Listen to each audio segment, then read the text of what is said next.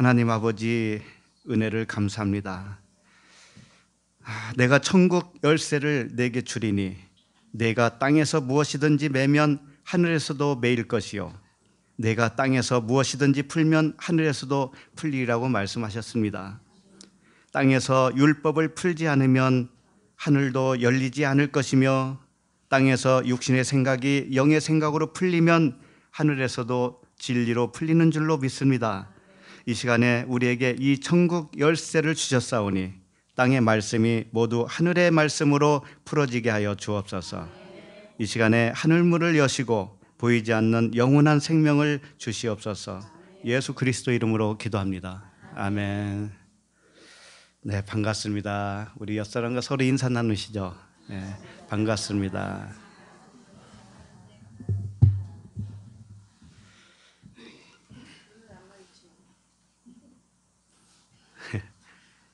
오늘 말씀은 누가복음 17장 31절부터 37절입니다.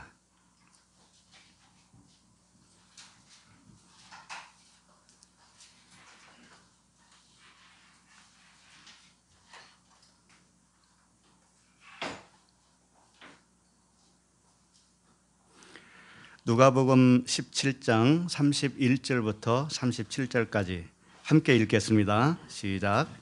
그날에 만일 사람이 지붕 위에 있고 그의 세간이 그 집 안에 있으면 그것을 가지러 내려가지 말 것이요 밭에 있는 자도 그와 같이 뒤로 돌이키지 말 것이니라. 노새철을 기억하라. 무릇 자기 목숨을 보전하고자 하는 자는 잃을 것이요 잃는 자는 살리리라. 내가 너에게 이르노니 그 밤에 둘이 한 자리에 누워 있음에 하나는 데려감을 얻고 하나는 버려둠을 당할 것이요 두 여자가 함께 맷돌을 갈고 있음에 하나는 데려감을 얻고 하나는 버려둠을 당할 것이니라 그들이 대답하되 주여 어디 오니까 이르시되 죽어 믿는 곳에는 독수리가 모이노니라 하시니라 아멘 아, 오늘 말씀 제목은 데려가고 버려두고입니다. 데려가고 버려두고. 에, 하나님의 말씀은 사람의 생각과 다르죠. 예, 사람들은 하나님의 말씀조차도 어, 이 사람의 관점으로 끌어내립니다. 왜 그러냐 하면은 우리는 익숙한 게 이 육이기 때문에 그래요. 우리는 이 세상에 살고 있기 때문에 이 세상에 더 익숙합니다. 그래서 하나님이 주시고자 하는 그 하늘, 하늘나라, 천국에 대해서는 아, 익숙하지가 못해요. 그래서 하나님의 말씀을 오해하게 됩니다. 오해해. 전부 다 오해합니다. 자, 오늘 31절을 같이 읽으면서 오늘 말씀이 어떤 말씀인지 살펴보도록 하겠습니다. 31절 시작. 그날에 만일 사람이 지붕 위에 있고 그의 세간이 그 집안에 있으면 그것을 가지러 내려가지 말 것이요 밭에 있는 자도 그와 같이 뒤로 돌이키지 말 것이니라. 아멘. 25절부터 어, 시작한 다섯째 날, 어, 오늘 37절까지예요.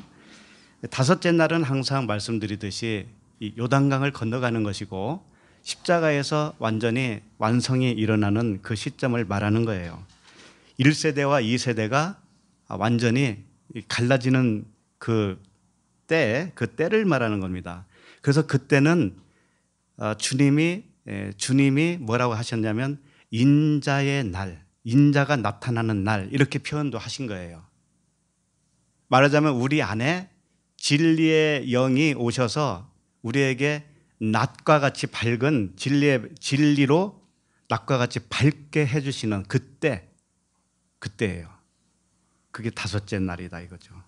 그러니까 육으로 살, 살도, 살고 있던 우리가 이제 영으로 바뀌는 거예요. 완전히 영으로 바뀌는 거죠. 물론 그 이전부터는 시작은 했었어요, 우리가. 그죠? 셋째 날에 우리는 물로 한번 태어났기 때문에 이미 생명을 가진 자였습니다. 그러나 말씀에 대해서는 무지했고 하나님의 주시는 그 하나님의 나라를 우리가 에, 누리며 사는 것에는 익숙하지 못했었어요. 그래서 광야의 삶을 쭉 살아왔었던 것이죠. 그러다가 이제 진리가 완전히 내 안에서 밝혀져서 어두움이 없는 거죠. 내 안에 어두움이 없어요. 마음에. 이것이 평강이고 안식이죠. 예, 그때가 언제냐? 주님이 우리에게 임하신 날이다. 이렇게 표현하는 것이죠. 그래서 하나님의 모든 말씀은 예수 그리스도를 어떻게 하는 말씀이라고 했죠? 증언하는 말씀. 예수 그리스도를 증언해요. 예수 그리스도는 영과 진리입니다. 육이 아니에요. 영과 진리예요. 그래서 이 하나님의 말씀은 문자로 주신 말씀이기는 하지만 이제 알고 보니 이 문자가 아니고 영이었다라는 겁니다. 그래서 이 문자에 숱한 단어들이 있죠. 성경 말씀이 전부 다 단어잖아요. 이 단어가 우리가 세상에서 생각하는 그 국어 사전과 같은 단어의 내용하고는 달라요. 아버지 하면 우리는 육신의 아버지를 생각하잖아요. 그런데 성경은 어떤 분을 아버지라고 하신 거예요? 하나님 아버지다, 하나님 아버지. 그래서 너에게는 아버지는 너에게 있어서 한 분이시다. 그 아버지는 한 분, 하나님 아버지시다. 남편과 아내에 대하여 성경이 쓰여 있죠? 요게 우리는 진짜 우리 육신의 남편과 아내를 생각하기 쉽지만 성경은 그걸 말씀한 것이 아니었다. 그럼 무엇을 말씀하신 거예요? 네, 그리스도와의 신부된 교회와 그리스도와의 관계를 설명한 것이죠. 이와 같이 모든 단어 하나하나가 전부 다 이 세상 관점이 아니라는 거예요. 이게 시작입니다. 이거, 이것이 잘못되면 우리는 말씀을 오해하게 되어 있어요. 그래서 글자마다 다 영적인 단어인데 먼저 예수 그리스도를 증언하는 말씀이라고 했죠. 그래서 이 말씀이 보여지는 측면으로 봤을 때는 예수예요, 예수. 예수님은 육신을 가지고 있는 분이죠. 이게 다 예수예요. 이 문자 하나님의 말씀이 예수인데 이것을 깨달으면 뭐예요? 그 예수가 그리스도로 변하는 거죠. 그래서 예수와 그리스도는 하나라는 거예요. 예, 그렇게 되는 겁니다. 그래서 우리의 삶도 이 세상은 보이는 세상이고 우리가 육체를 가지고 있는 이 육신도 보이는 육신이에요.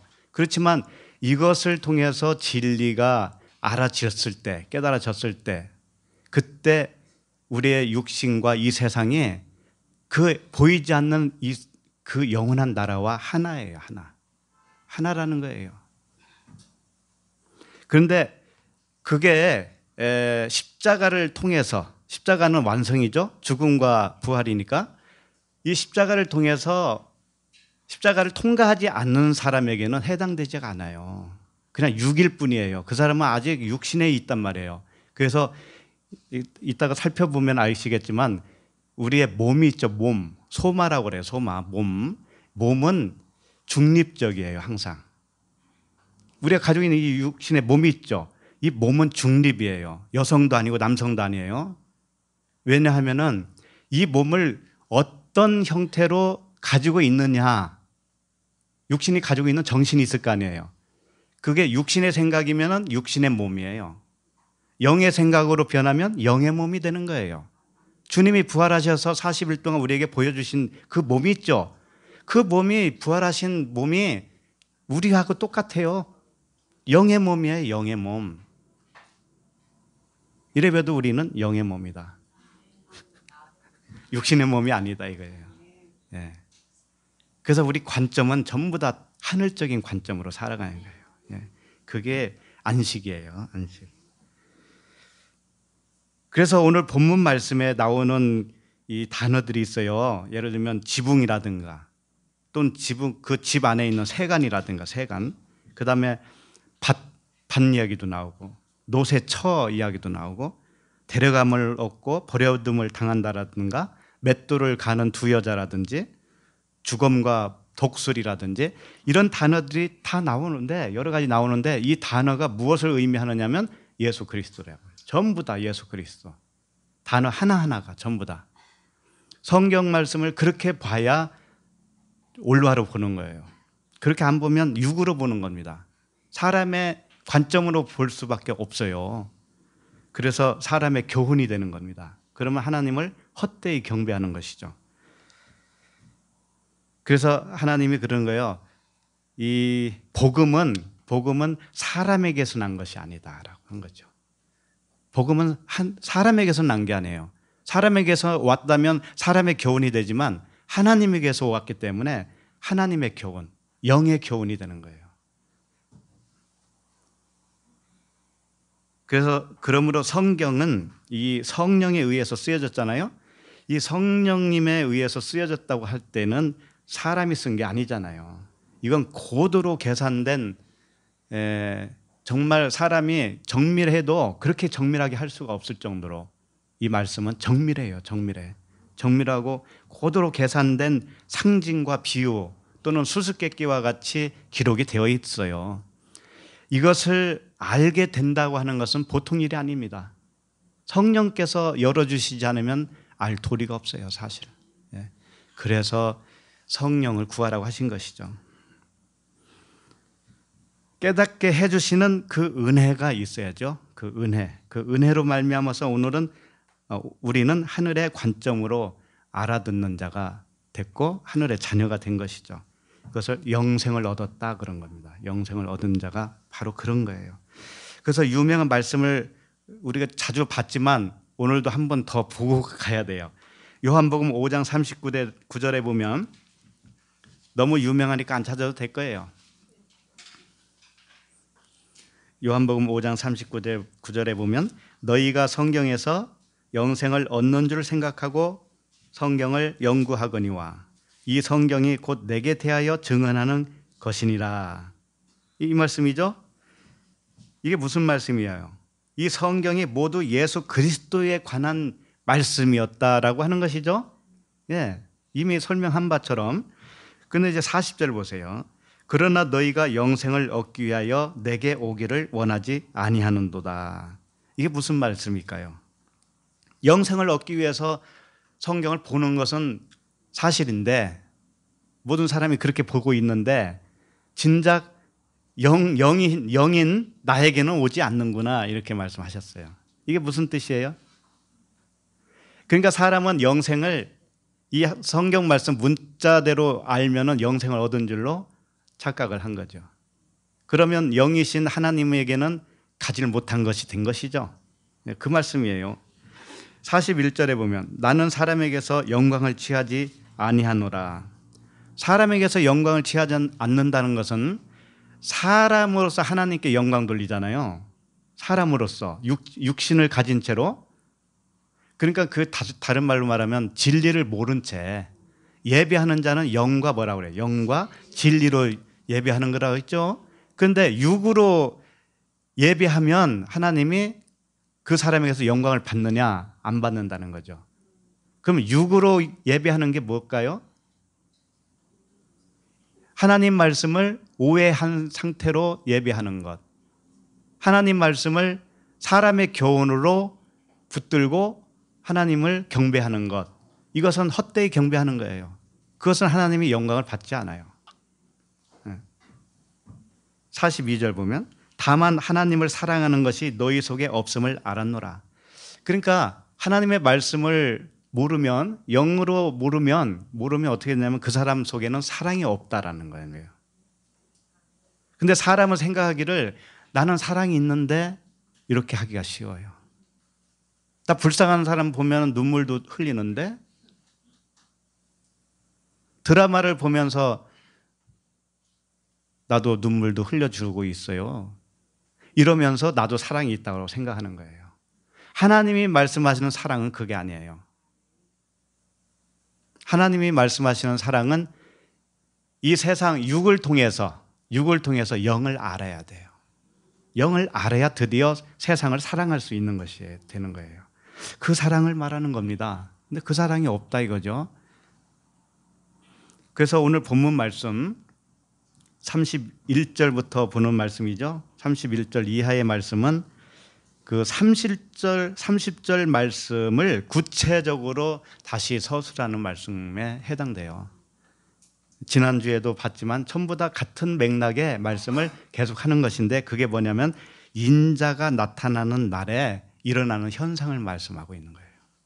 지난주에도 봤던 것이 다 그 말씀이었고 노, 노에 대한 노아에 대한 그런 말씀들이 전부 주님이 임, 임하실 때, 주님이 우리 안에서 진리로 이렇게 밝게 나타나실 때 일어나는 현상을 비유로 쭉 사건으로 설명을 해줬습니다. 근데 오늘 말씀도 이어서 그 말씀을 더 구체적으로 해주시는 거예요.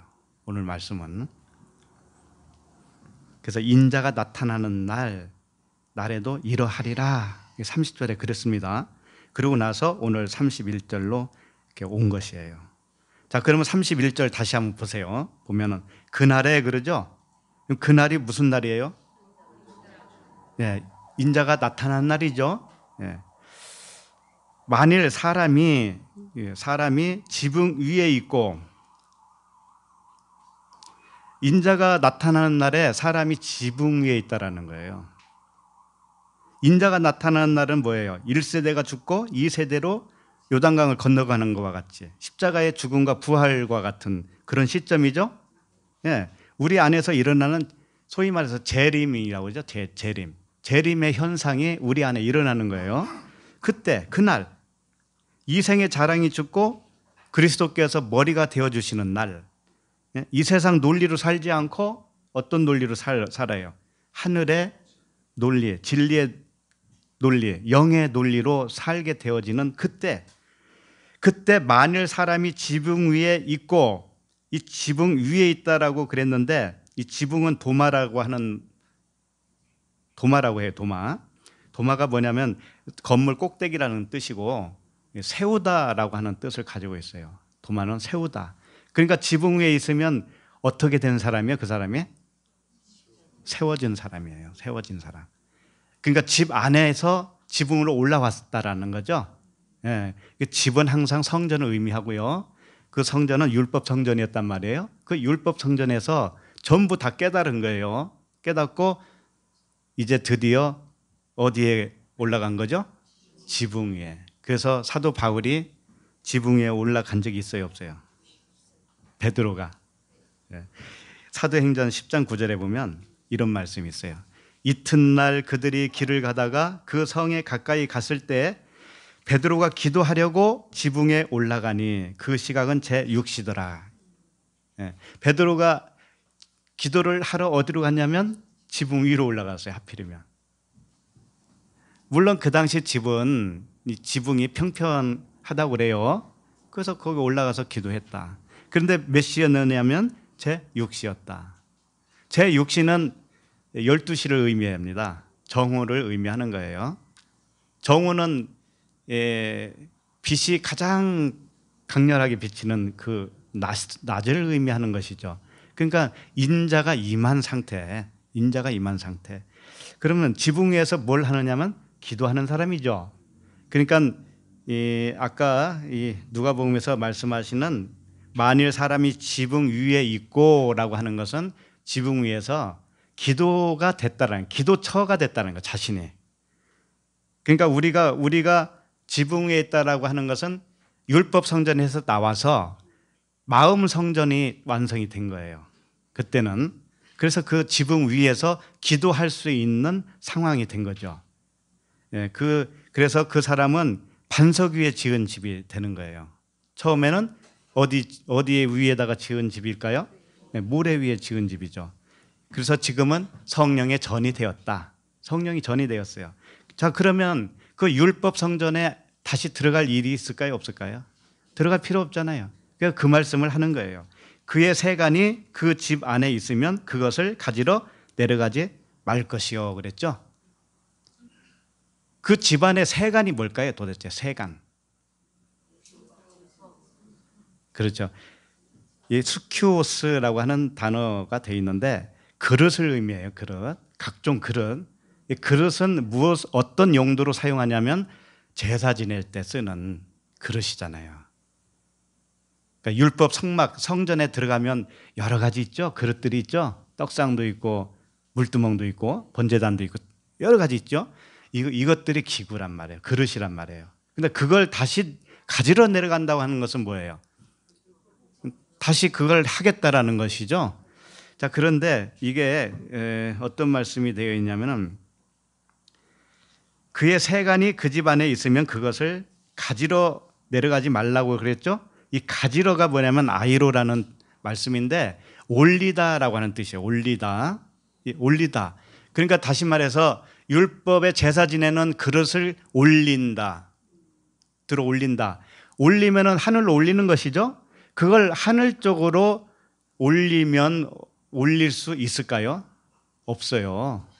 그러니까 그게 우리 보고 이렇게 명령하는 게 아니에요. 명령하는 게 아니고 우리가 진리의 성전이 되어지면 다시는 그 율법 성전에서 행위로 드렸던 제사의 그릇들을 하늘로 올릴 수가 없다 이거예요.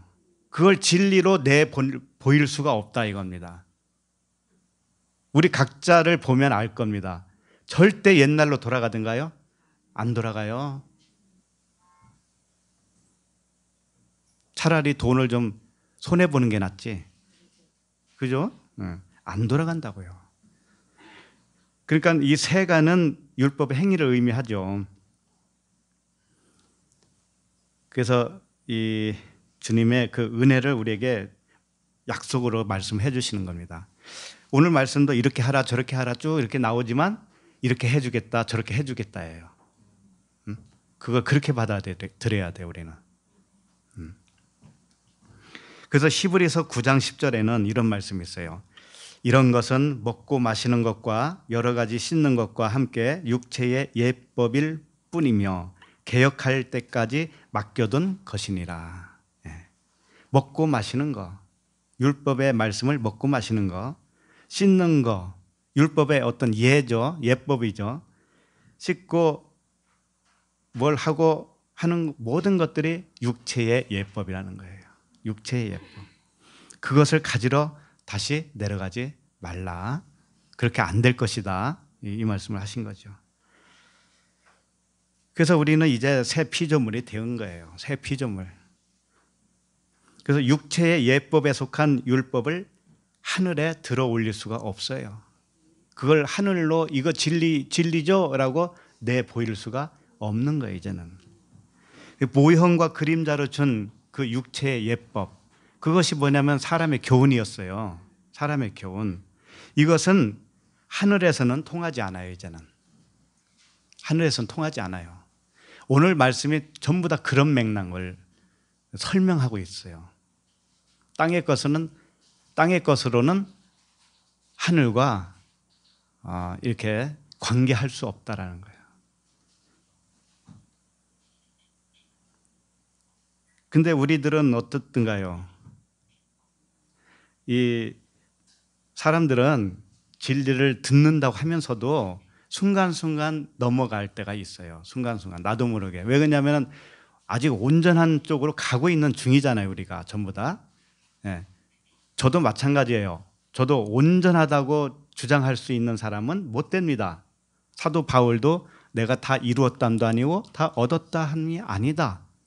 다만 뒤의 것은 잊어버리고 앞에 있는 푯대를 향하여 달려간다. 그랬잖아요. 우리 모두가 다 그래, 그런, 그런 상태란 말이에요. 그러다 보니 순간순간 넘어질 때 있어 없어요? 있어요. 예를 들면은 어, 이 하늘에서는 쓰잘데기 없는 거 있어요. 하늘에서는 쓰잘데기 없어요. 이미 말씀드렸지만 세간살이 예? 그, 그 율법 성전 안에 있는 세간살이 있죠? 그 율법 행위고 땅의 관점이잖아요. 땅의 관점. 그것을 다시 그 관점으로 보려고 하는 경향이 우리에게 순간순간 있다 이거예요. 음? 있어요. 그러니까 이런 것이죠. 사람을 우리가 사람과 관계가 있죠. 모든 사람은 관계가 있어요. 관계가 있는데 에, 우리가 진리를 안, 안다. 또는 우리 안에서 주님의 날이 임해서 주님이 완전히 우리의 머리가 되어서 이끌어 가시는 중에 우리가 비진리라는 것을 하나님이 깨닫게 해줄 때가 있단 말이에요. 그걸 안 해주시면 기고만장해져요. 내가 주인이 돼버리 또, 또 다른 주인이 된단 말이에요. 그래서 우리를 넘어뜨려요. 넘어뜨린다고요. 하나님이 고의적으로.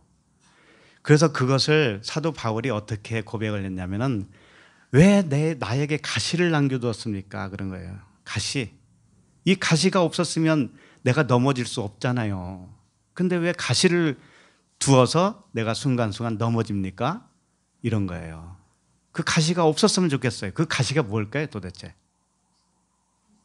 욕심의 생각이에요. 욕심의 생각. 욕심의 기준, 욕심의 기준이 나도 모르게 내 안에 있었던 것이 발동을 하는 겁니다. 다른 거 아니에요. 그러면 하늘적인 관점으로 쭉 보다가 육적인 관점으로 싹 돌아가는 순간에 어떻게 되냐면 다 허물로 보여요. 모든 게 다 허물로 보인다고. 사람의 사람의 됨됨이 언어 이런 것들이 전부 다 허물로 보인단 말이에요. 내가 세상 관점으로 잘 가다가 육적인 관점으로 딱 보내. 그러니까 우리가 항상 인사할 때도 그러잖아요. 보이는 것을 보지 맙시다. 그 안에 있는 속을 봅시다. 그런 거잖아요. 그러니까 우리가 항상 그 안에 있는 언어를 봐야 돼요. 언어. 언어가 뭐냐면 속이잖아요. 속에서 나오는 거죠. 이 언어가 중요하다고 언어가. 언어가 중요한데 문제는 그 언어를 듣는 내가 더 중요해. 예? 예를 들면은 이런 거죠. 아버지 이야기를 하잖아요. 사람이. 그러면 내가 들을 때 어떤 아버지로 알아야 돼요? 하나님 아버지로 그걸 해석을 하란 말이에요. 해석이 안 되면 어떻게 되는지 알아요? 시험거리가 돼요. 예를 들면 그런 거란 말이죠. 다른 사람이 문제가 있는 게 아니고 나한테 문제가 있어요. 내가 그것을 전환을 못 하는 거 이게 변압기가 고장 나 가지고 2만 볼트 전기가 오면 220으로 딱 변환해야 되는데 그게 고장 나면 어떻게 되면 2만 볼트가 그냥 오잖아요. 그럼 내가 시험 든다니까.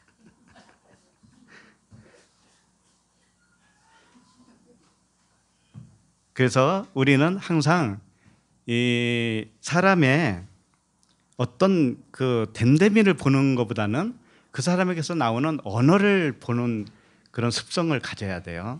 예를 들면은 사람이라는 사람은 100명인 100명 다 달라요. 같아요. 다 다릅니다. 다 달라요. 어떤 사람은 말이 빠른 사람이 있고 어떤 사람은 저처럼 말이 느린 사람도 있죠. 어떤 사람은 성질이 급한 분도 있고 느긋한 분도 있고 그래요. 그러면 어떤 어떤 게 좋다라고 정의할 수 있나요? 없어요. 그것은 그 사람의 고유 성격이라고요. 하나님이 주신 고유 성격이에요. 어떤 사람은 빠르고 빠르고 어떤 사람은 느리고 어떤 사람은 직선적이고 어떤 사람은 우회적이고 어떤 사람은 상냥하고 어떤 사람은 퉁명해. 말을 하는데 퉁명해, 퉁명해. 또 어떤 사람은 상냥해. 그럼 뭐가 좋다고 정의할 수 있나요? 그런 것 가지고는 좋다 나쁘다 할 수 없어요. 뭘로 해야 돼요? 그 안에 있는 내용이 중요한 거 아닙니까? 내용. 그죠? 내용. 그래서 말하는 모양보다도 말하는 내용을 보란 말이에요.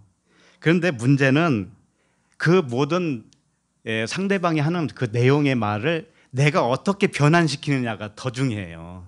그 사람이 무슨 말을 하는 것은 아무 문제가 못 돼요. 자, 여러분이 나에게 한번 욕을 한번 해보세요. 나한테 문제가 안 된다니까요. 그 욕을 내가 어떻게 변환시키느냐가 문제지. 그죠? 그래서 시험 든다고 하는 것은 내 자신이 지금 변압기가 약간 고장난 것을 나서 그런 것이지 다른 사람이 말하는 건 아무 상관이 없어요. 다른 사람이 말하는 건 육적으로 말해도 아무 상관이 없다니까. 나에게 올 때 내가 그것을 변환시키면 돼요. 음. 그러면 우리 나눔을 나눔을 할 때도 그렇잖아요. 나눔을 할 때. 나눔을 하다 보면 어떤 분들은 과거에 그런 분들이 있었어요. 아이고 저 사람은 시시해. 그런 말을 하는 사람도 있어요. 아이고 나하고는 수준이 안 맞아. 이러, 이래요. 그리고 나하고는 수준이 안 맞으니까 여기서는 내가 놀 물이 아니네. 그러면서 떠나시는 분도 가끔 있었단 말이에요.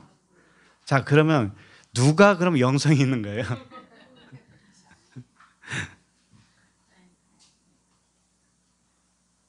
그래서 상대방의 그 말을 주 예수 그리스도, 예수 그리스도로 변환시키면 돼요. 예수 그리스도로. 아, 이 사람이 지금 예수 차원을 보이는 것으로 말을 하는구나. 나는 그리스도로 그걸 알아들으면 돼요. 네? 그러면, 그러면 그게 사랑으로 덮는 것이에요.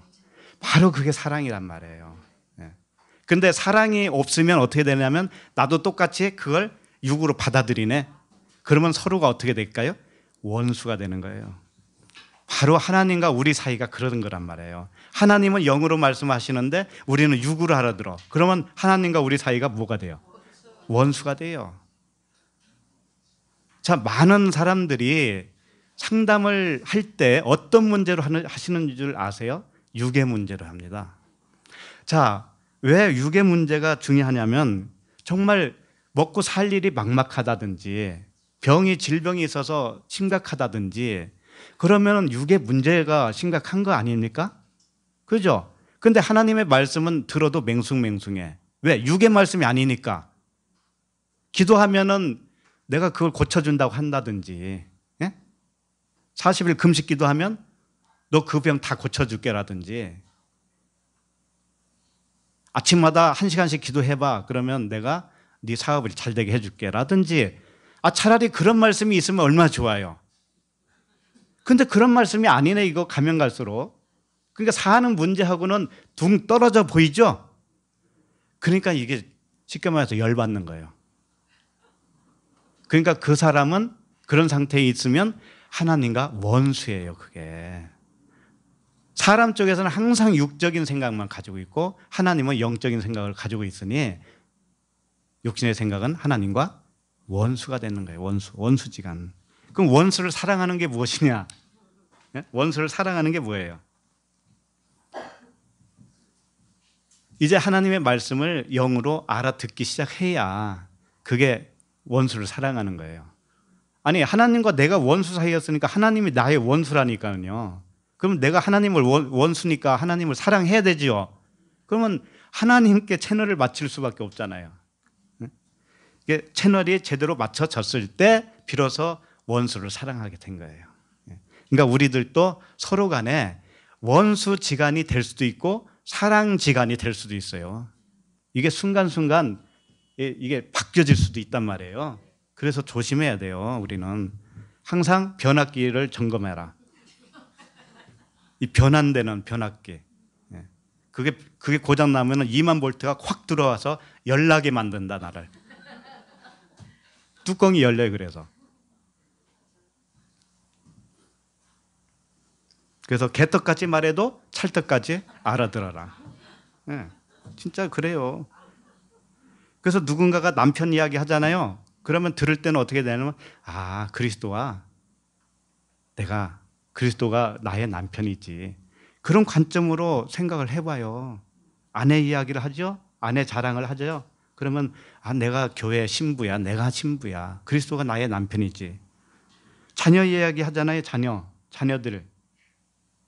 좋은 좋은데 시집 가고 장가 가고 그런 자랑 많이 하잖아요. 그러면 어떻게 해야 돼요?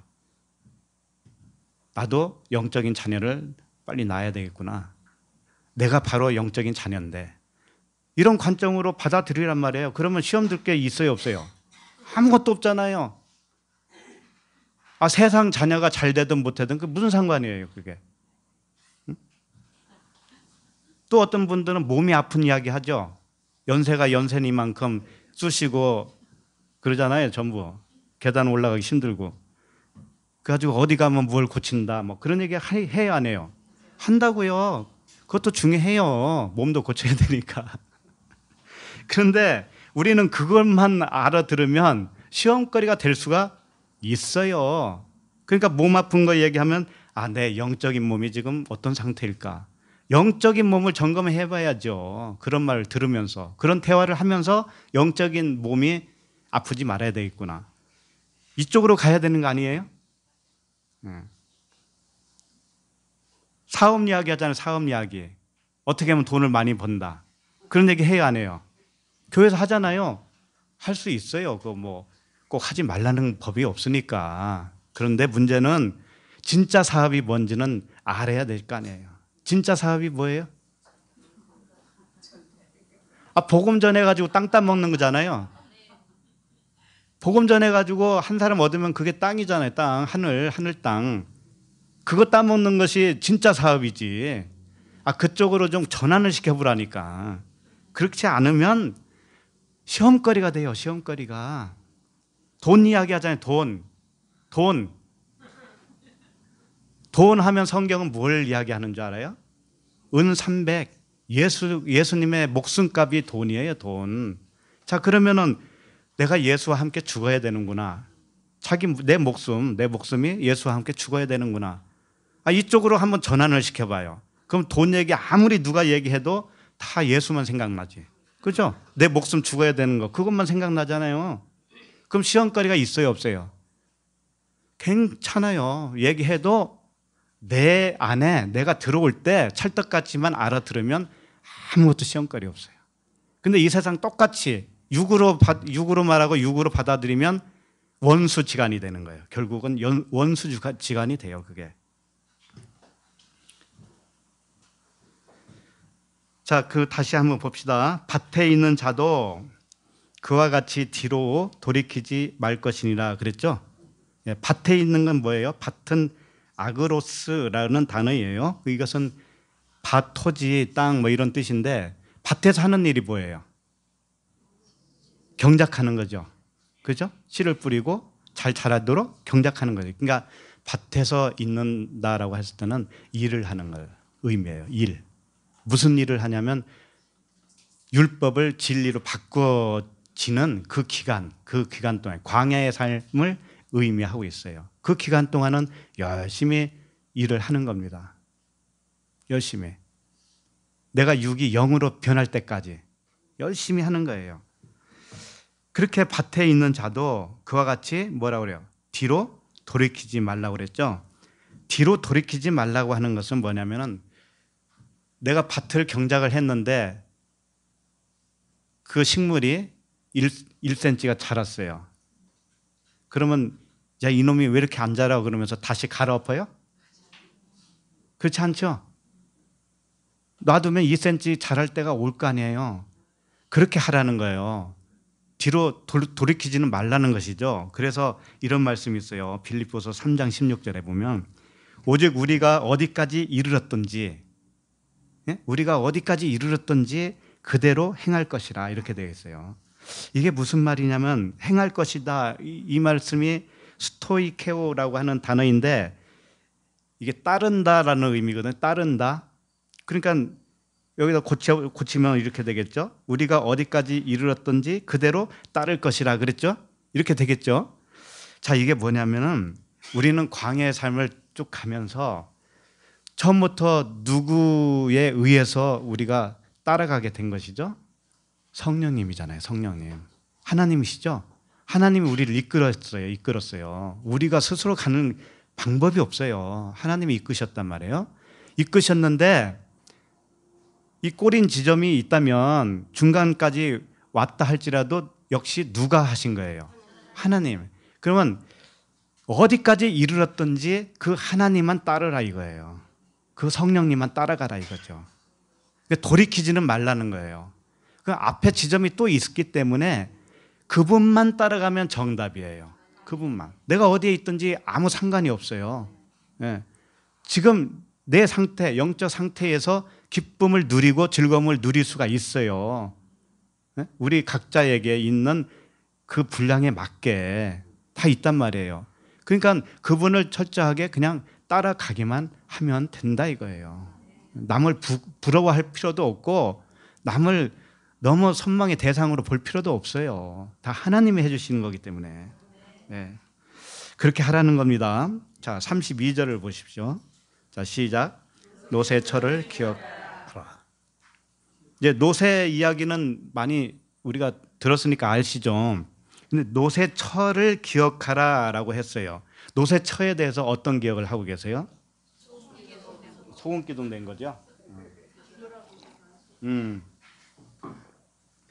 거기를 한번 찾아보니까 읽어드릴게요. 장세기 19장 24절인데 여호와께서 하늘 곧 여호와께로부터 유황과 불을 소돔과 고무라에 비같이 내리사 소돔과 고무라에 비를 비같이 내렸어요. 이게 불 세례라고 그랬죠. 네, 말씀 세례예요, 전부 다.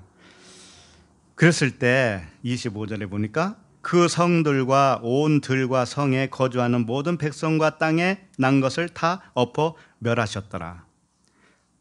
그 온 들과 성에 거주하는 모든 백성과 땅에 난 것을 다 엎어버렸다 이거죠. 그래서 멸망시켜 버렸어요. 자, 이것을 문자대로 받으면 어떻게 되냐면 소돔 성에 있는 모든 걸 멸망시켰으니까 이제 그 뒤에 26절을 읽어 볼게요. 노새 아내는 뒤를 돌아보았으므로 소금 기둥이 되었더라. 자, 이것을 연결해서 보면 여호와께서 유황과 불로 소돔과 고모라를 다 멸했어요. 그랬을 때 그 안에 있는 들, 들과 성에 거주하는 모든 백성도 그렇고 그 땅에서 난 것도 전부 다 멸하셨어요. 그러면 노시 노새 아내가 볼 때 아이고 아까워, 아이고 아까워. 응? 저기서 도망칠 때 미처 가지고 나오지 못한 금괴가 있었는데 내가 장롱 속에 감춰놓은 그것이 있었는데 그러다가 뒤를 돌아봤다라는 거죠. 아까워서. 그래서 소동 기둥이 됐다. 지금 이걸 말하는 것으로 해석을 한단 말이에요. 이게 이게 무슨 해석이에요? 예, 사람의 교훈이란 말이에요. 그럼 사람의 교훈으로 말할 때 얼마나 좋아요. 이런 거 노새 처같이 하지 마세요, 여러분. 어? 주식하다가 망했다고 해서 너무 슬퍼하지 마세요. 여러분이 가지고 있는 돈 교회에다가 좀 바쳐보세요. 그런다고요. 그쪽으로 이끌어 가요. 결국은 열심히 하라 이거지. 열심히 하라.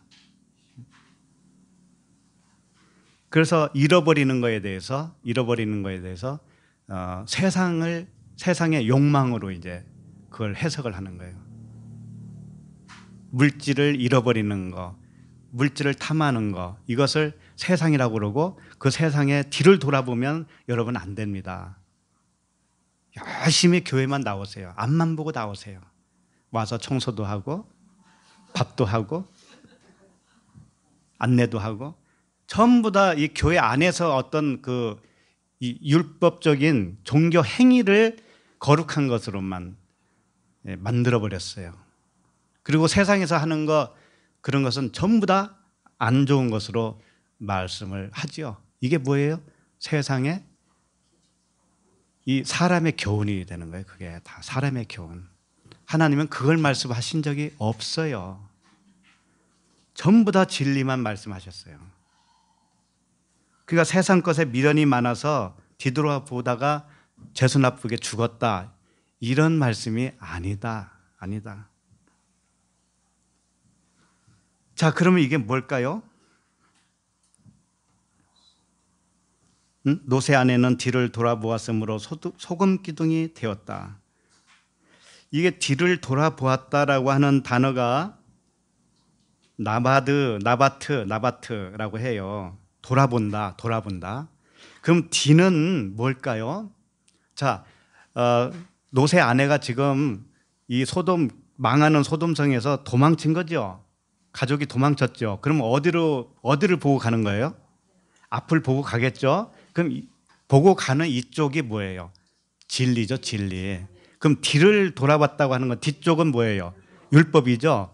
자, 율법을 돌아보았다라는 말이 되겠죠. 근데 우리나라 말로는 이게 정확하지가 않아요.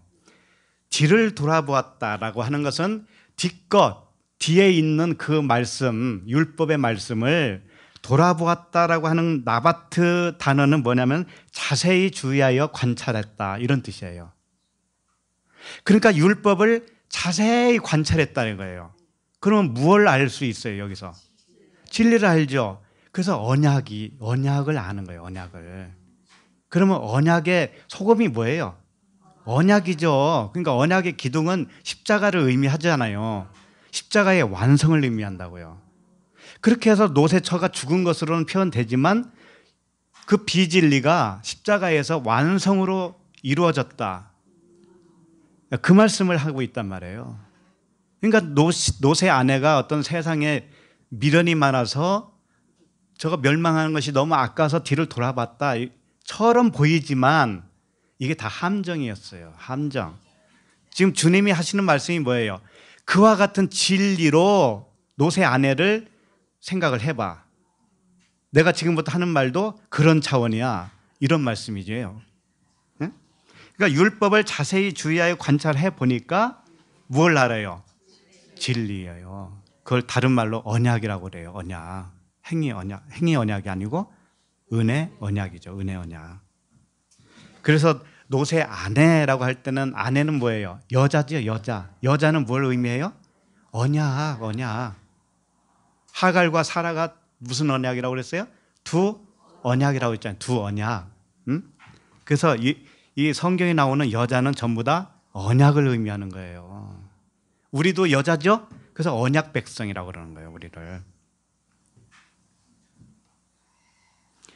근데 이게 언제 나타나냐면 인자의 날이 나타날 때, 인자의 날이 뚜껑이 탁 열려서 보여줄 때, 그때 율법이 완성이 된다 이거. 율법이 완성이 돼요. 사랑은 율법의 완성이니라 그러죠. 사랑 사랑으로 완성이 되는 거예요. 노새 안에는 이미 그렇게 됐다라는 거예요. 부럽잖아요. 누가 노새 아내를 욕했어?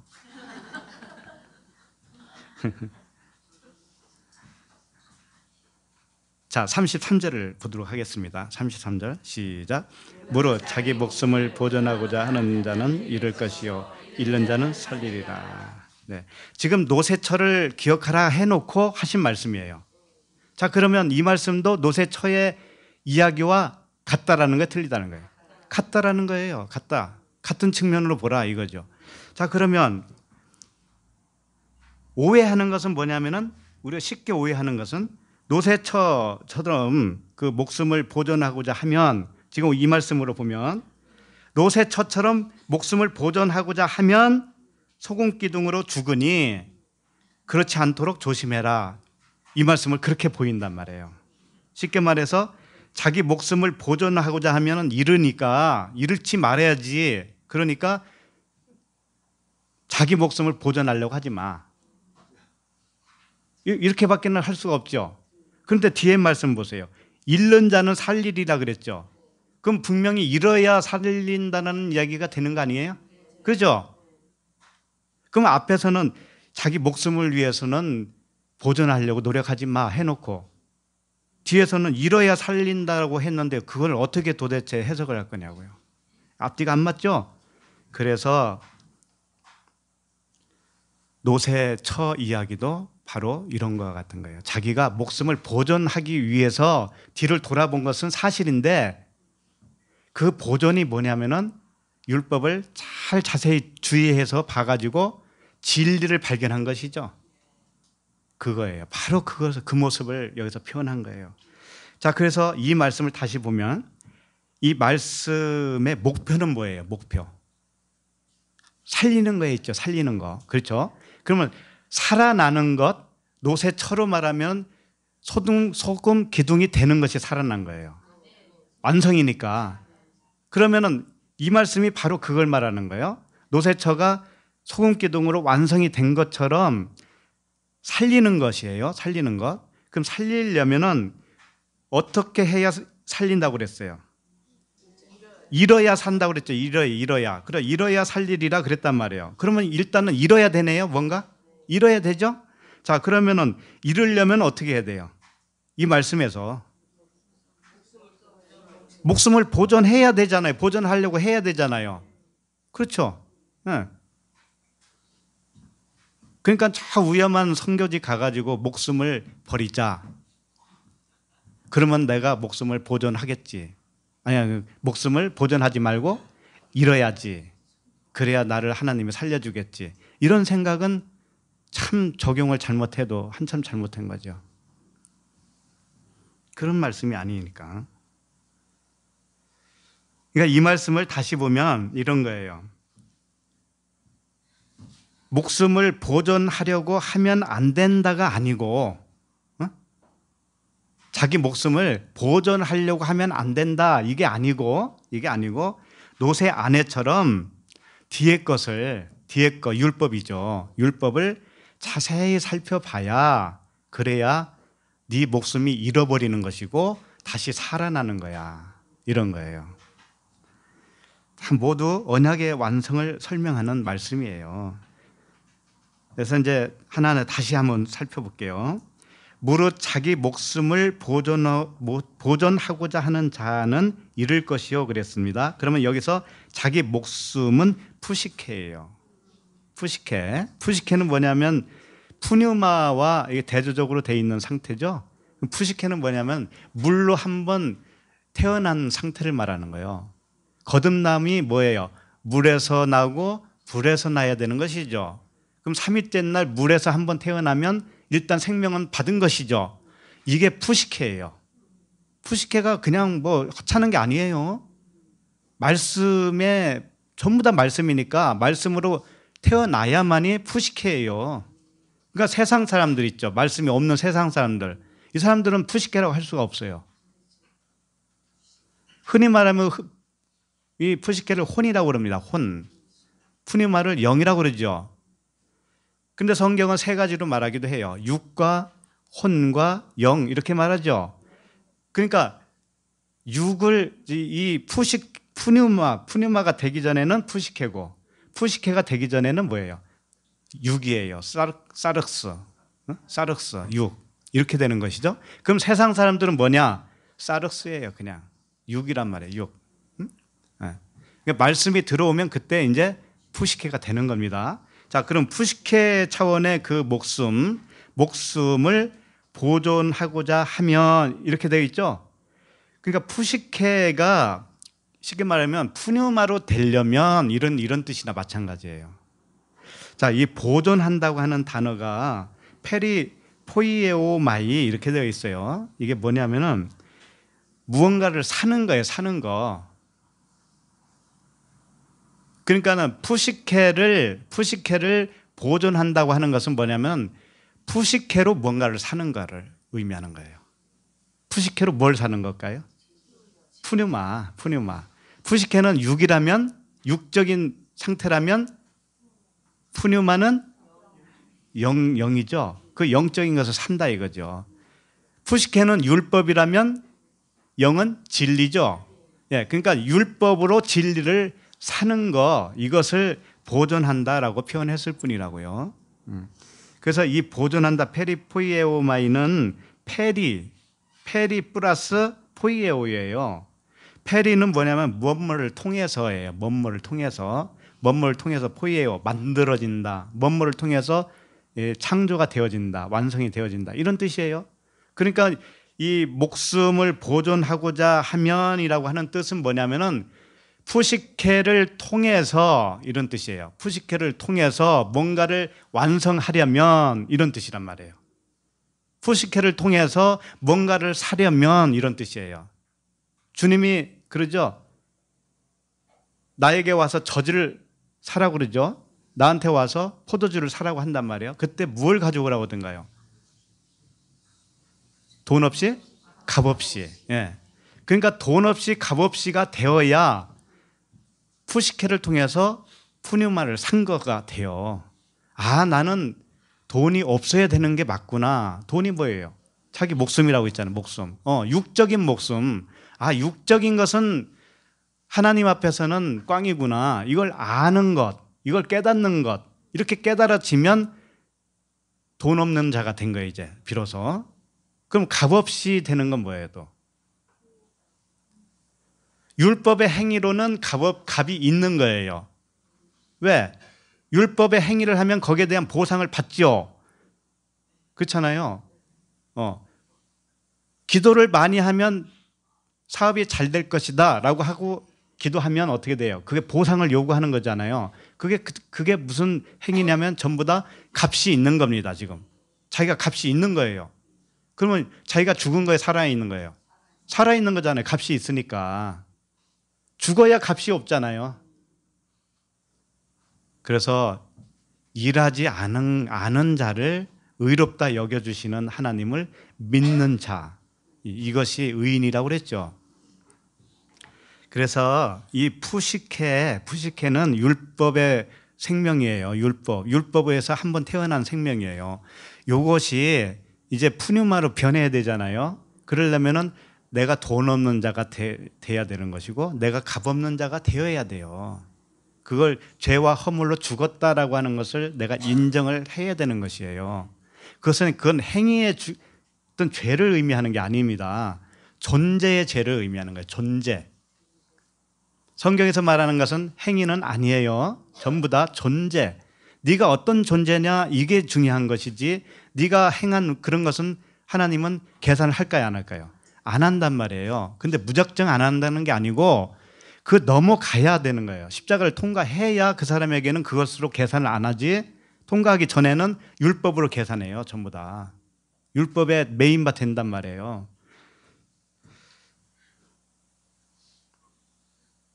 그래서 다시 정리를 하면 푸시케를 통하여 푸뉴마를 푸뉴마로 살아나려면 이런 뜻이에요. 푸시케를 그렇게 하면 푸시케를 잃을 것이요 이렇게 되는 거죠. 그러니까 율법으로 진리를 살려면 율법을 잘 계산해 보면 어떻게 되냐면 율법을 잃어버릴 거야 이런 거란 말이에요. 다시 말해서 푸시케 목숨 자기 목숨으로 진리의 생명을 살려고 하니까 살려고 계속 해 보니까 어떻게 되냐면 아 내 목숨이 잃어버리는 거예요. 나도 모르게 내 목숨을 잃어버리는 거예요. 자 잃어버리면 어떻게 한다고 그래요? 살린다고 그러잖아요. 바로 그거예요. 푸시케를 잃으면 푸니마로 살리리라 이런 말씀이에요. 그러니까 반드시 목숨을 잃어야 돼요, 안 잃어야 돼요? 잃어야 된다는 것이죠. 그러니까 목숨을 보존한다고 하는 것은 뭐냐면 푸시케를 내 육적인 목숨을 이렇게 보존한다 그런 의미가 아니고 육적인 목숨을 통해서 통해서 진짜 목숨을 살려고 하다 보니까 가짜 목숨을 잃어버리는 거예요. 이렇게 된다 이거죠. 하나님이 그렇게 해주시겠다. 네, 그겁니다. 그래서 돈 없이 값 없이가 되어야 돼요. 그게 뭐냐면은 말씀을 문자로 지킬 수 있는 육체가 없구나라고 하는 걸 발견하는 거예요.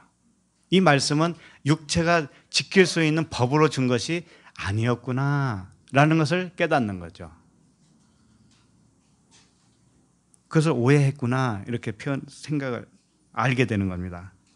영원한 생명을 얻는 말씀으로 주셨구나. 언약으로 주셨구나. 이것을 깨닫게 되는 겁니다. 그러니까 나에게 근거가 아무것도 없어요. 값도 없어요. 돈도 없어요. 그 생명을 얻기 위해서는 아무것도 필요가 없구나. 아무것도 그게 남으면 안 되는구나. 그걸 알 수가 있는 것이죠. 그래서 영생은 내가 주인이 될 수 없구나. 오직 하나님만 나의 주인이 될 수밖에 없겠구나. 네. 라고 여겨지면서 이 생의 자랑이 나도 모르게 놓아지는 거예요. 멈추게 되는 거예요. 그것을 잃어버렸다라고 표현한 거예요. 자, 그럼 34절을 읽어볼까요? 34절 시작.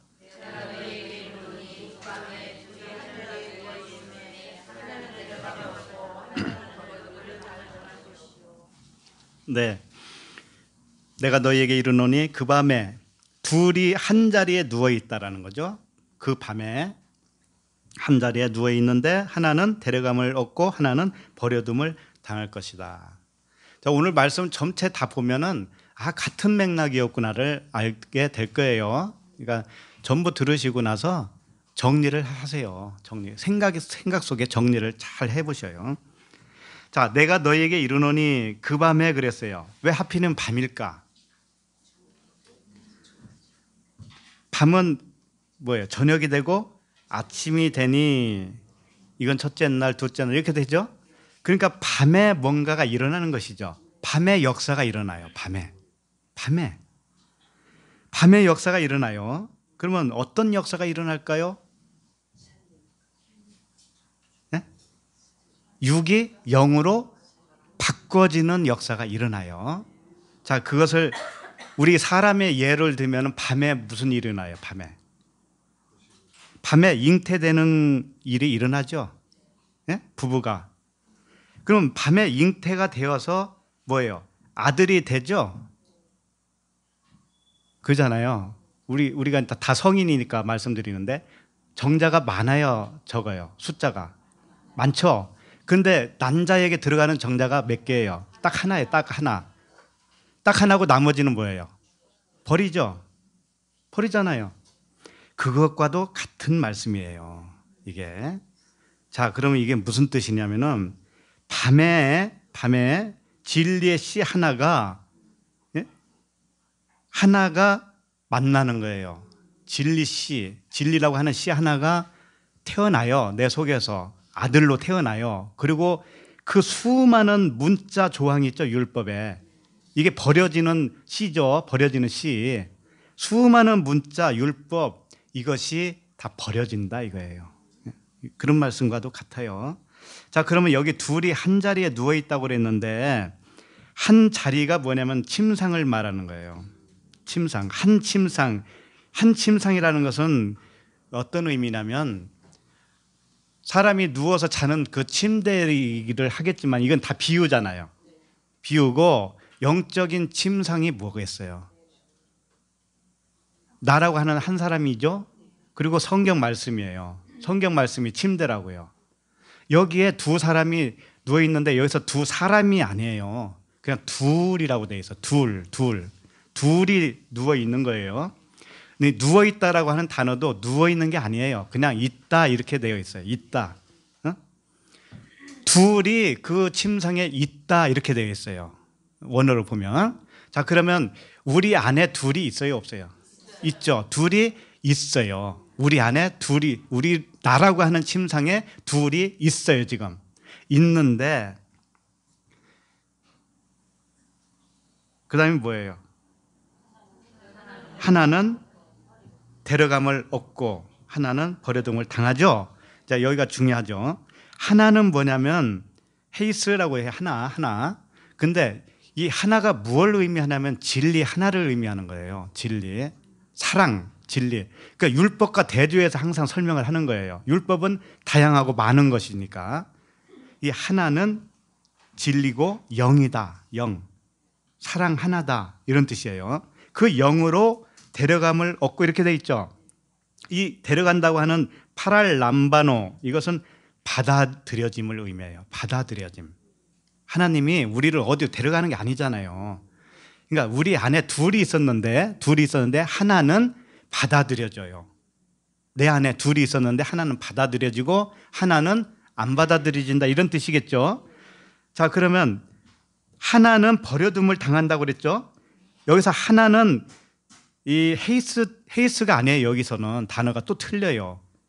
앞에서도 하나는 데려간다고 하나라고 했는데 뒤에서도 하나라고는 했지만 이것은 ἕτερος예요. ἕτερος. εἷς가 아니고 ἕτερος. 이게 무슨 뜻이냐면 다른 쪽이라는 뜻이에요. 다른 쪽 하나, 다른 쪽 하나 이런 뜻이에요. 그러니까 진리의 진리가 하나죠. 진리의 다른 쪽이 뭐예요? 율법이잖아요.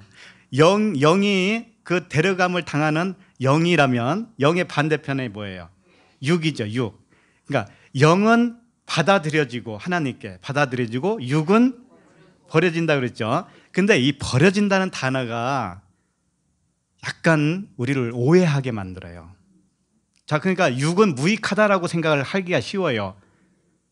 또 그런 표현도 있었죠. 육은 무익하다. 이게 이제 잘못 오해하면은 야, 육은 아무렇게나 살아도 된다. 이런 식으로 생각을 하기가 쉬워요. 이제 그게 아니에요. 버린다고 하는 게 그게 아니고 아비에미라고 하는 단어예요. 버려둠을 당한다. 이게 아비 아비에미. 아비에미가 뭐냐면 아포와 히에미 이두 단어가 합성이 된 거예요. 그러니까 아포는 뭐냐면 항상 완성을 위한 거예요. 완성이라고 하는 뜻을 가지고 있어요. 아포. 아포는 떨어지다 이런 뜻이에요.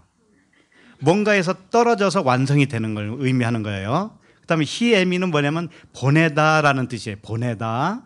자, 그러면은 보내기는 보냈는데 무엇으로 보낸다는 거예요?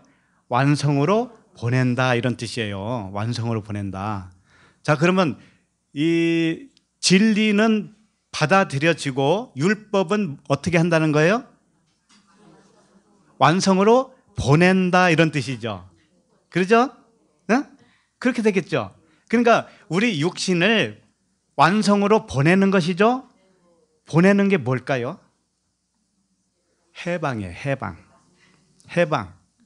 자, 한번 생각을 해보세요. 우리가 육신을 입고 이렇게 살다가 하늘로 올라간다. 육신을 벗고 올라가요. 그러면은 육신을 버린 거죠. 버렸다고도 하지만 보낸 거죠. 보내면은 해방이죠. 그런 뜻이란 말이에요. 그래서 이, 이 앱, 앞비 에미를 용서라고 해요. 용서. 용서라고 하는 단어를 써요. 용서. 사해해 준다, 용서해 준다. 이런 단어란 말이에요. 그러니까 다시 말해서 육은 용서해 주고 영은 내가 받아 받아 준다 이런 뜻이란 말이에요. 그러니까 육, 육과 영이 하나라는 거예요, 둘이라는 거예요. 하나예요. 육을 용서하니까 그게 뭐가 된 거예요? 영이 된 거지. 그래서 영이 됐으니까 영을 받아주는 거야. 그런 뜻이란 말이에요. 그래서 마태복음 6장 12절에 보면 잘 아는 말씀이에요. 우리가 우리에게 죄 지은 자를 사하여 준 것 같이 우리 죄를 사하여 주옵소서 이렇게 돼 있죠? 이 사하여 달라고 하는 단어가 같은 단어예요. 아비에미 용서, 용서. 같은 단어예요. 아비에미. 우리가 우리에게 죄 지은 자를 용서해 준 것 같이 우리 죄를 용서해 주소서. 이거죠? 그와 같이 오늘 말씀도 하나는 용납되어지고 받아주고 하나는 용서해 준다. 그거예요. 자, 그럼 그게 다시 정리를 하면 어떻게 되냐면 진리 하나 우리가 우리가 둘이었는데 둘이었는데 육은 용서를 해줘 버리는 거예요. 보내주는 거예요. 해방시켜 주는 거예요. 육은 왜 그렇게 되느냐면 이제 영을 알았기 때문에 내가 진리를 알아들었죠. 그러면 육은 해방이야 이제 그렇게 되는 거라고요. 보내주는 거예요. 육은 보내주고 무엇을 취해요? 영을 취해요. 내가 알아먹은 그 진리를 주님은 받아들여요. 그러니까 한번 생각을 해보세요. 우리가 육을 가지고 있는 동안에 죄를 질까요? 안 질까요? 지쳐. 그것을 해방시켜 준단 말이에요. 영을 안 사람에게만 알지 못하면 어떻게 되냐면 여전히 율법 아래에 갇혀 있는 상태이기 때문에 율법이 그 사람에게는 경찰이 되는 거예요. 그 경찰이 따라, 따라다닌다니까요. 너 이거 죄야? 너 이거 잘못했지? 계속 따라 붙어요. 그 율법 아래 갇힌 자예요, 그게. 그러니까는 거기서 해방되려고 애를 써야 안 써요. 어떤 식으로 해방되려고 하냐면은 잘 지키는 걸로. 그러죠? 육의 법을 잘 지키는 것으로 자기가 면제 받으려고 애를 쓰죠. 그러나 율법의 행위로는 의롭게 될 자가 있어요, 없어요? 없어요. 그러니까 이 보이는 세상은 이 육신은 어쩔 수 없는 우리 육신의 기준에 의해서는 다 죄예요. 육신의 기준에 의하면 죄가 아닌 것이 하나도 없어요. 그죠? 하루에도 수도, 수도 없이 나한테 기분 나쁜 소리 들어야 안 들어요? 슈퍼마켓 가서도 기분 나쁜 소리 들을 수도 있잖아요. 이 간장 어디 있어요? 그랬더니 아, 저기 가면 있어요. 뭐 찾아보세요. 그래서 불친절하게 하면 어떻게 돼요? 기분 나쁘죠. 이 세상은 내가 다른 사람에게 기분 나쁜 소리도 듣지만 나도 기분 나쁜 소리를 수없이 하고 다녀요. 나도 모르게. 이 말 자체가 뭐냐면 보이는 거란 말이에요. 보이는 거기 때문에 보이는 건 전부 다 죄예요. 전부 다 죄. 죄가 아닌 것이 하나도 없어요. 그래서 본다 하면 죄가 그대로 있느니라. 보면은 다 그냥 있는 거 죄에. 그런데 이제 무엇을 알았어요, 우리는? 진리, 그 영을 알았단 말이에요. 그러면 영을 알았다고 하는 것은 아들을 가지고 있다라는 것과도 같아요. 내가 아들로 태어난 것이죠. 그러면 그 사람은 육에 있지 않고 어디에 있다고 그래요? 영에 있나니. 이렇게 되죠. 그러니까는 육으로 우리는 여전히 살고 있어요. 육적인 죄도 짓고 있어요. 그럼에도 불구하고 그것을 하나님이 어떻게 한다는 거예요? 용서해 준다. 그것을 무조건 용서해 그것은. 무조건 그냥 해방이에요. 해방. 무조건 보내 주는 거예요. 그리고 무엇만 받아들여요? 영만 받아들여요. 예. 할렐루야 아니에요? 예. 그거예요. 그래서 이, 이 진리를 사도 바울이 어떻게 정리를 했냐면은 그런 말씀 있죠. 오호라 나는 공고한 자로다. 그런 그 탄식을 했죠.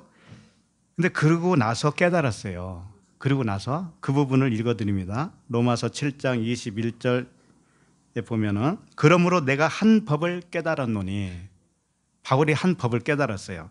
곧 선을 행하기 원하는 나에게 악이 함께 있는 것이로다. 둘이 있죠, 둘. 예. 선을 행하기 위한 내가 하나 있고 그런데 악이 또 하나 있네요. 둘이 있어요. 25절을 보면 이렇게 말씀하셔요.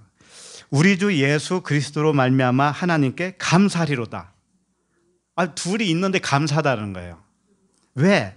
왜 감사하느냐? 그런즉 내 자신이 마음으로는 하나님의 법을 마음으로는 하나님의 법을 그러니까 그 마음이 무슨 마음이에요? 영이지 영, 영. 그 영은 하나님을 따라요.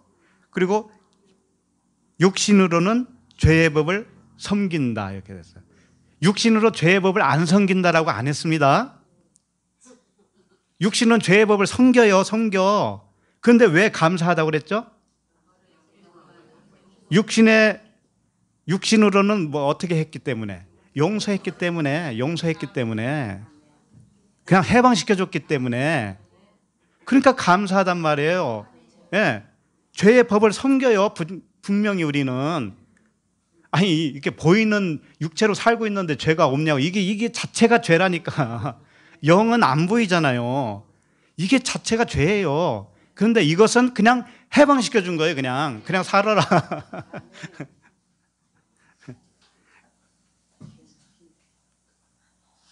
이걸 아는 자에게만 해당돼요. 예, 모르면 율법 아래 갇혀져요. 그 사람은 경찰을 경찰이 따라다녀요. 그래서 베드로전서 3장 21절에 이런 말씀이 있어요. 물은 예수 그리스도께서 부활하심으로 말미암아 이제 너희를 구원하는 편이 곧 세례라. 세례, 세례가 뭐냐? 이는 육체의 더러운 것을 제하여 버림이 아니요 하나님을 향한 선한 양심의 강군이라 이렇게 돼 있어요. 세례라는 게 뭐냐? 육체의 더러운 것을 제하는 게 아니다 이거죠. 육체의 더러운 것이 다른 것을 상상할 필요도 없어요. 우리가 이렇게 사는 게 육체에 더러운 거예요. 이렇게 사는 게 이것을 제하 버림이 아니다 이 말이에요. 제하려면 어떻게 되겠어요? 죽어야지. 없어져 버려야지 그냥 매장돼야지. 그러니까 그렇게는 할 수 없는 거잖아요. 그러니까 세례라는 것은 그걸 말하는 게 아니고 하나님을 향한 선한 양심을 강구하는 것이다. 하나님을 향한 선한 양심 뭐냐면은 하나님께만 있는 선, 선을 의미해요. 하나님은 선과 악이 따로 있지 않아요. 그분은. 그분은 이 세상 만든 것이 그분이 만들었잖아요. 이 세상에서 일어나는 일도 다 그분에 의해서 일어나는 일들이에요. 알고 보면. 그분이 허락지 않으면 일어날 일이 없어요. 자, 그 선한 양심을 강구한다. 물어본다 이거예요. 물어보는 것이다. 알아가는 것이다. 그래서 우리에게 질문이 필요하면 주님께 질문을 하셔야 돼요. 강구를 하시란 말이에요. 그렇게 하면 또 가르쳐 줘요. 그렇게 해서 우리는 완전히 이 세상 이렇게 보이는 세상에 사는 것은 전부 그분이 용서를 한 겁니다. 해방을 시켰어요. 그냥 보내줬어요. 그리고 무엇만 취하냐면 영만 취한다. 음, 그 말씀이에요. 자, 오늘 본문 35절 읽겠습니다. 시작. 두 여자가 함께 맷돌을 갈고 있음에 하나는 데려감을 얻고 하나는 버려둠을 당할 것이니라. 자, 이것도 데려감을 당하는 것은 용납입니다. 받아들여짐이고 버려둠을 당하는 것은 뭐예요? 용서예요. 그렇게 아셔야 돼요. 음. 그러면 두 여자는 두 언약을 의미하겠죠? 예를 들면 하갈과 사라처럼 두 언약. 말씀이에요, 전부 다. 이 두 말씀이 함께 맷돌을 갈아요. 맷돌 간다고 하는 것은 콩을 넣고 갈면은 가루가 되죠? 밀가루가 되죠? 그와 같이 하나님의 말씀을 갈아요. 하나님의 말씀을 가는 건 뭐냐면 대세김질이라고 그랬죠. 대세김질. 대세김질은 무엇이에요? 우리가 말하면 그 묵상이죠. 말씀을 계속 묵상하고 다시 살펴보고 꼼꼼히 보고 이런 것이죠. 자꾸 듣고 이렇게 하는 동안에 이렇게 하는 동안에 하나는 어떻게 해요? 하나는 데려감을 당해요. 그것은 뭐예요? 하나는 받아들여진다 이거 하나님께 영으로 받아들여져. 네가 진리를 깨달았지 진리로 받아들여요. 그리고 하나는 버려둠을 당한다고 했지만 하나는 용서해 줘요. 용서해 준다고요. 그런 의미예요. 진리 하나는 받아들여지고 수락되어지고 또 다른 하나 헤테로스라고 했죠. 반대편 또 다른 쪽에 하나 다른 쪽에 하나는 뭐예요? 율법이죠.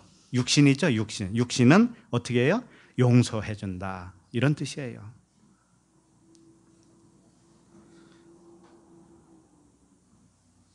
자, 그러면 36절을 보겠습니다. 시작.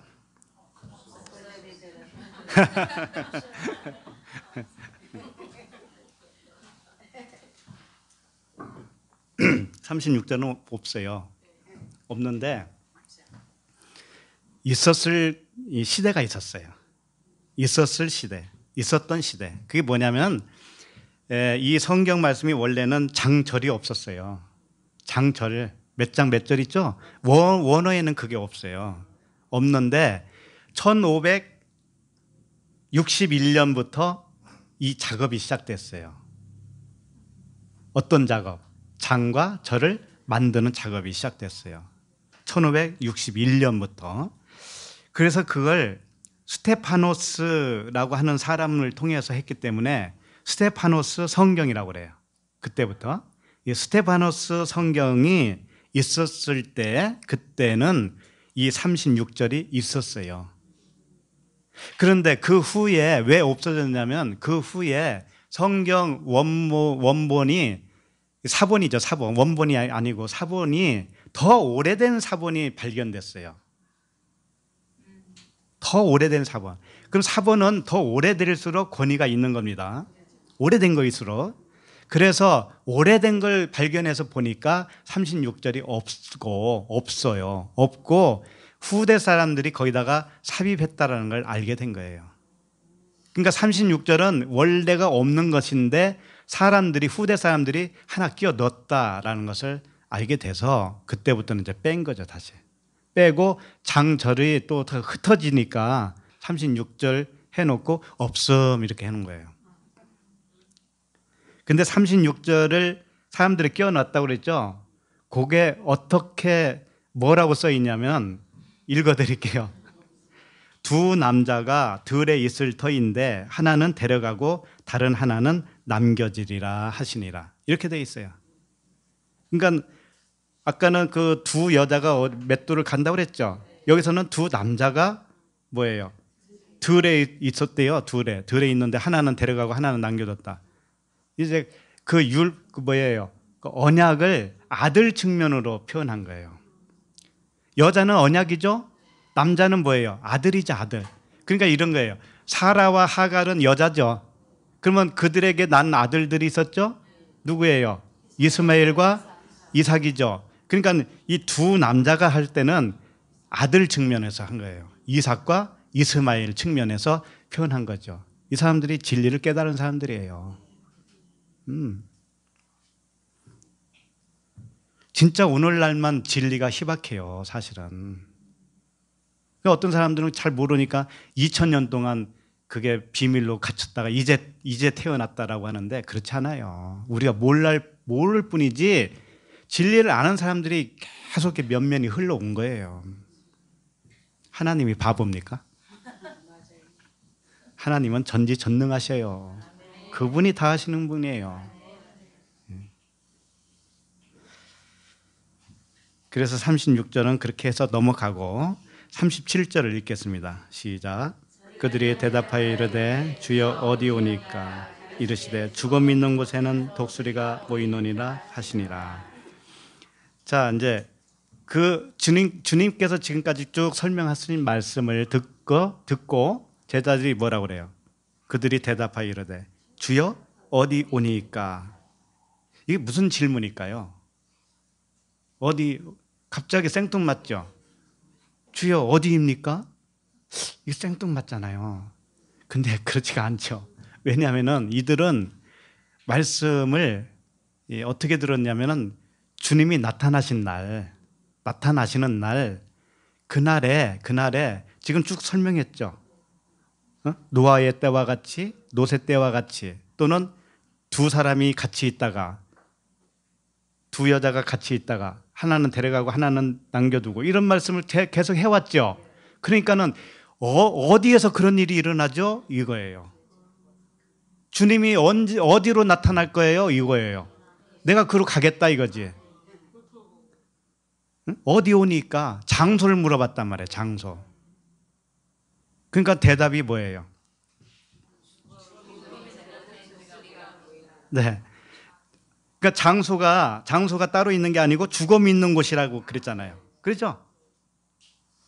그러니까는 어, 어, 뭐 에루살렘이니 뭐니 그런 얘기가 아니죠. 장소가 아니란 말이에요. 주님의 대답은 장소가 아니고 죽음이 있는 곳에는 독수리가 모이는 것이야. 이렇게 대답을 했단 말이에요. 근데 약간 좀 오역을 했어요. 야, 어디 오니까는 이제 푸라고 하는 단어이고 이것은 장수적인 개념을 의미한 거예요. 그러니까 인자에 나타난 날이 어느 장소에 옵니까? 이런 거죠. 예. 그랬더니 이르시되 죽음 있는 곳에는 그런데 이 죽음이 소마라고 하는 예, 단어예요. 소마. 이게 몸이에요, 몸. 그러니까 죽음이 아니고 몸이 있는 곳에 그런 뜻이에요. 그런데 앞에서 비유로 설명할 때는 하나는 데려가고 하나는 놔두니까 죽는 거잖아요. 그러니까 죽음으로 물어본 것이죠. 참 이게 이게 이게 번역을 그렇게 해놓은 거예요. 번역을 죽음이 아니고 소마 몸이에요, 몸, 몸. 그러니까 뭐예요? 몸이 있는 곳에는 독수리가 모인다 이런 뜻이겠죠. 일단 그거예요. 자 그러면 어, 그 몸은 몸은 아까도 말씀드렸지만 중성이라고 그랬어요. 여성도 아니고 남성도 아니고 중성이에요. 그러니까 몸을 누가 장악을 하는가에 따라서 여성도 되고 남성도 되고 그런다는 뜻이죠. 자 그러면 이 몸에 대해서 여러 군데 나오기는 했지만 딱 한 군데를 보면서 이 몸이 무엇을 의미하는가를 좀 살펴보도록 하겠어요. 고린도전서 15장 44절이에요. 한번 찾아보시죠.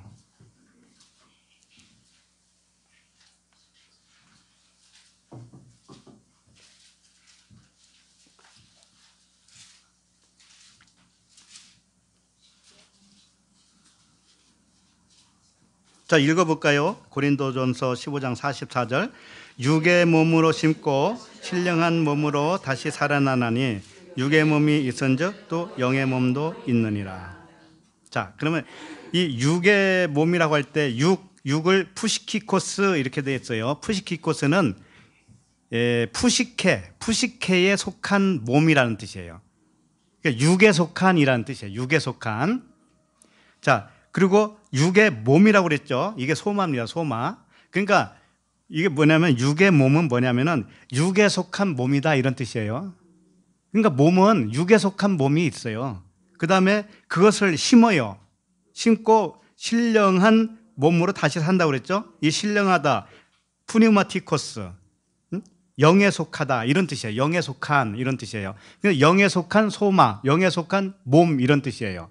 자, 그러니까 몸은 지금 몸은 그냥 중립인데 중립인데 처음에 육의 몸이 있죠. 육에 속한 몸. 그 다음에 신령한 영에 속한 몸 이렇게 돼 있어요. 그러니까 몸은 하나인데 처음에는 육의 몸, 그 다음에 영의 몸으로 바뀐다 이런 뜻이에요.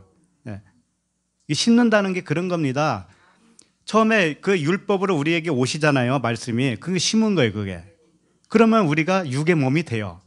처음에는 그렇게 돼요. 근데 그것이 이제 주님의 날이 임하면 주님이 진리로 우리에게 오면 성령께서 오면 이게 밝혀지죠. 밝혀져서 유, 영의 몸이 된다 이거예요. 영의 몸이 된다.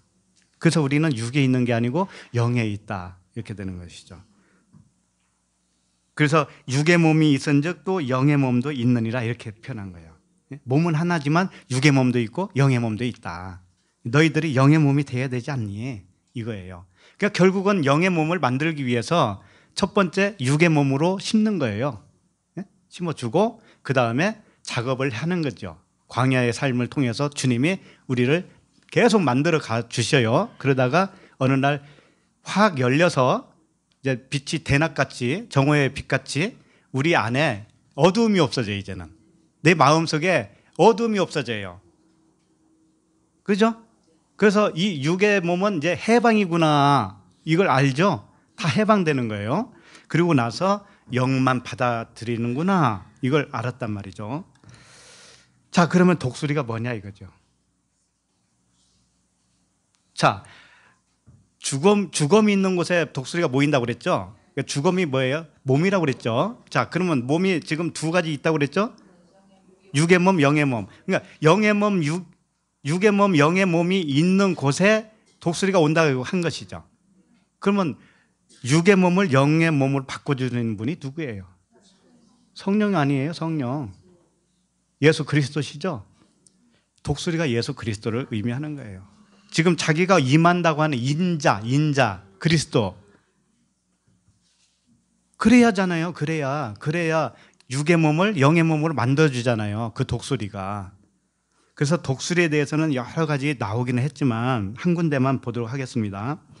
요한계시록 12장 14절.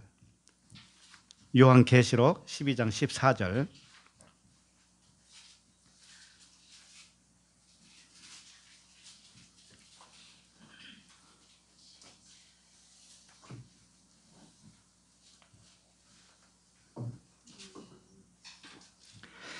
자, 요한계시록 12장 14절 읽겠습니다. 그 여자가 큰 독수리의 두 날개를 받아 광야 자기 곳으로 날아가 거기서 그 뱀의 낯을 피하여 한 때와 두 때와 반 때를 양육받음에 자 이렇게 돼 있어요. 자, 그 여자가 여자는 누구예요?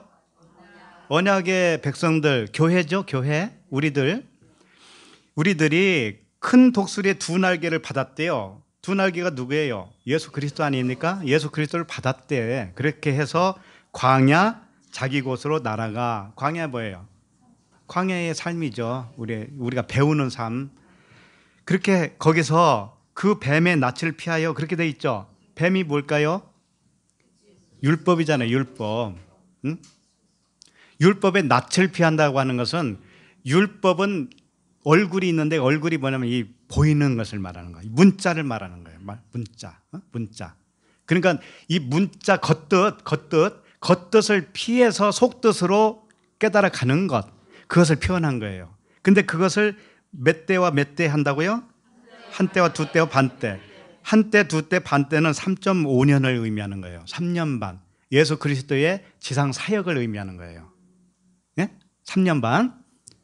그때 때까지 우리는 양육을 받아요. 그게 광야의 삶이에요. 그래서 주님이 3년 반 지나고 나서 십자가에서 어떻게 해요? 죽으시는 게 뭐라는 거예요? 완성이라고 그랬잖아요. 그러니까 우리는 이제 죽음을 죽어서 어떻게 막 이렇게 슬프게 생각할 게 아니에요. 죽은 죽는 것이 뭐냐면은 완성이시고 죽는 것이 뭐냐면은 한 가지가 첫 번째 하나가 두 번째 것으로 변하는 걸 말하는 거예요. 변하는 거, 변하는 거. 그러니까 그분은 시체가 없잖아요. 그래서 모세도 그렇고 독수리는 예수 그리스도 인자를 의미하는 것이다. 우리를 양육하시는 그 그리스도 그분을 의미해요. 그래서 인자가 나타나는 날 소위 말하는 재림, 재림, 재림은 어느 장소에 일어납니까? 라고 하는 질문을 했었어요. 근데 그 질문에 대한 대답이 뭐냐면은 장소적인 것이 아니야. 네 몸에 임하는 거야. 이렇게 말씀하신 거예요. 성경이 이렇게 정확해요. 네. 너희 몸, 소마, 너희 몸에 임하는 거야. 그러니까 육의 몸을 심고 처음에 신령한 몸으로 살아나는 거야. 음. 육의 몸으로 용서받고 음? 다르게 표현하면 육의 몸으로는 보내줘, 해방시켜줘, 용서받아. 그리고 영의 몸으로 내가 받아가는 거야. 하나님이. 영의 몸으로 내가 너를 접수하는 것이지. 육의 몸은 용서해 주는 거야. 이런 거예요. 이게 진리의 말씀이죠. 이 진리의 그 주님의 오심이 우리 모두에게 각 사람 안에서 일어나는 말씀이에요. 모두 그렇게 되시길 바랍니다. 기도하겠습니다. 하나님 아버지 주께서 우리에게 진리의 영으로 온전히 나타나 주시옵소서. 우리에게 있는 육신에 속한 몸을 용서하여 주시옵소서. 영에 속한 몸을 받아들여 주시는 그 은혜를 허락하여 주시옵소서. 우리들을 진리 하나로는 아버지 품에 생명으로 품어 주시고 또 다른 쪽에 있는 육신의 생각을 용서해 주시는 아버지의 크신 사랑에 감사를 드립니다.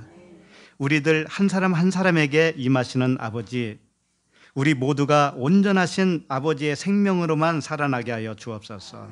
성령의 인도하심으로만 사라지게 하여 주옵소서. 우리를 통하여 생명이 또 다른 생명을 낳게 하여 주옵소서. 예수 그리스도 이름으로 기도합니다. 아멘.